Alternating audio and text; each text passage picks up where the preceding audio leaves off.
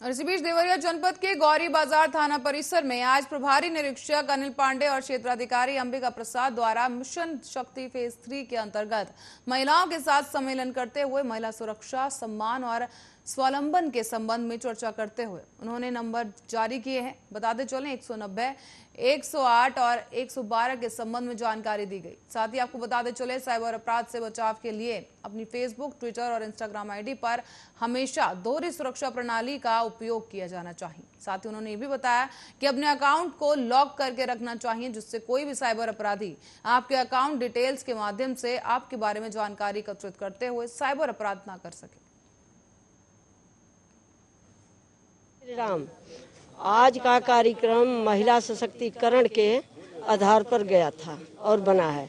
हमारी महिलाओं को यही संदेश मिल रहा है और होना चाहिए कि अपने कानून, नियम, शक्ति के लिए जागरूक हो और जागरूक हो रही हैं और जो हम लोगों का हक, हिस्सा, नियम, कानून चुस्त और दुरुस्त बन रहा है, उसका लाभ जन जन महिलाओं को मिले और सभी लोगों का सुरक्षा, धन, जन, अपने अधिकार? अधिकार का मतलब हम लोगों को शक्ति मिले। क्या नाम है? वहीं जहाँ एक तरफ़ लगातार बारिश के चलते कई गाँवों में बारिश का पानी घुस चुका है तो वहीं खेत भी तबाह हो चुके हैं। फ़सलें बर्बाद हो चुकी हैं और जानवरों को चारे का संकट आ गया है। नदियाँ काफ़ी उफान पर हैं बाढ़ जैसी स्थिति आ चुकी है और नदियों में लगातार पानी बढ़ने के चलते ग्रामीण काफ़ी भयभीत भी हैं। उनको ये डर सता रहा है कि कहीं उनका गाँव नदी में कटकर विलीन ना हो जाए।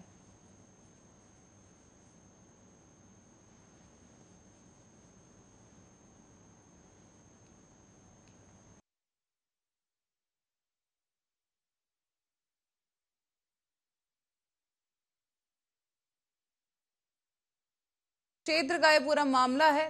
ताज़ा तस्वीरें हम आपको दिखा रहे हैं, जहाँ पर गौरा और राप्ती नदियाँ बहती हैं। ये दोनों ही नदियाँ इस समय काफ़ी उफान पर चल रही हैं तो वहीं गाँव और बांधों पर लगातार दबाव बना हुआ है और ऐसे में लोग काफ़ी डरे सहमे हैं। रात रात भर लोग जाग कर रखवाली कर रहे हैं। इसी बीच गौरा नदी के किनारे बसे हुए आधा दर्जन गाँव के लोग काफ़ी डरे सहमे हैं।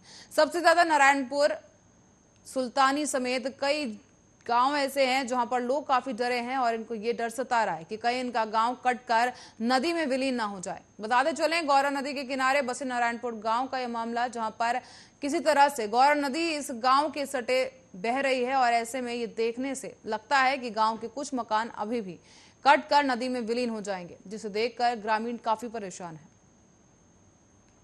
गोर्रा नदी है और इसमें निरंतर हर साल तबाही ये नदी मचाती है और काफ़ी लोग प्रभावित होते हैं जो आपका कैमरा भी देख रहा है यहाँ पे। और पीछे नदी है नदी में सुधार के लिए कुछ बंधे का कार्य शुरू हुआ था लेकिन जो अभी पूर्ण रूप से नहीं के बराबर है। और ये यहाँ पे कभी भी वो तोड़ करके गाँव के अंदर पानी घुस सकता है? नारायणपुर तो खतरे में है ही है और हर साल मेरठ के सरधाना पुलिस के साकिब हत्याकांड का खुलासा कर दिया गया है। बता दें, पुलिस ने इस मामले में तीन अभियुक्तों को गिरफ़्तार किया और इसके साथ ही पकड़े गए तीनों अभियुक्त। सगे भाई बताए जा रहे हैं।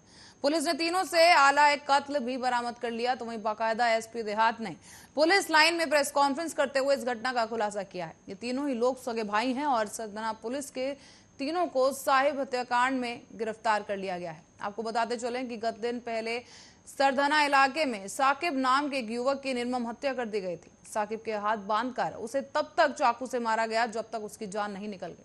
इस पूरे मामले में पुलिस ने अब खुलासा करते हुए कई टीमें भी लगाई थी, लेकिन पुलिस ने इन तीनों भाइयों को गिरफ़्तार करते हुए आज एक बड़ा खुलासा किया है। एसपी देहात केशव कुमार ने कहा है कि मृतक साकिब की दोस्ती अभियुक्त तालिब से थी और साकिब का तालिब के घर आना जाना था।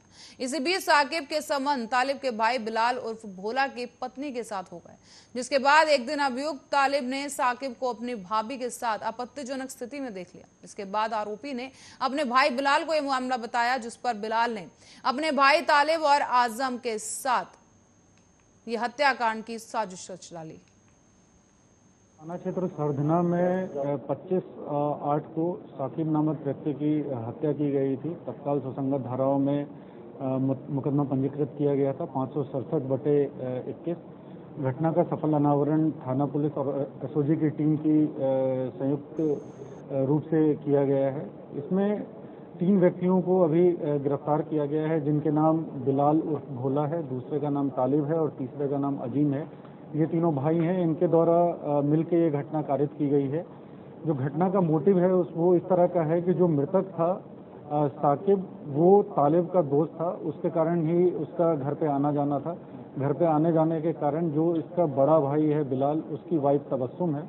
उसके साथ इसके रिश्ते, अवैध संबंध बन गए थे, जिसका पता तालिब को चला। पता चलने के बाद इसने ये बात अपने बड़े भाई को बताई, जिसके बाद परिवार के सभी लोगों ने मिलकर षड्यंत्र किया कॉन्स्पिरेसी की कि इसकी, इसका, इसकी हत्या करनी है, जिसके परिणाम स्वरूप पच्चीस तारीख और इसी के साथ ही फ़िलहाल के लिए बुलेटिन में इतना ही। देश दुनिया की तमाम खबरों के लिए बने रहे हमारे साथ, देखते रहे आरा न्यूज़।